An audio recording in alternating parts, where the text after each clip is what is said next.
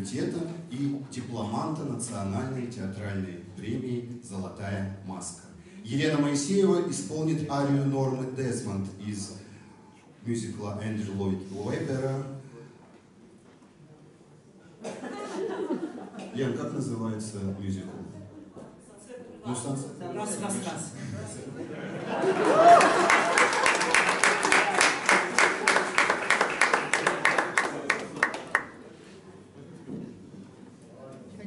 嗯。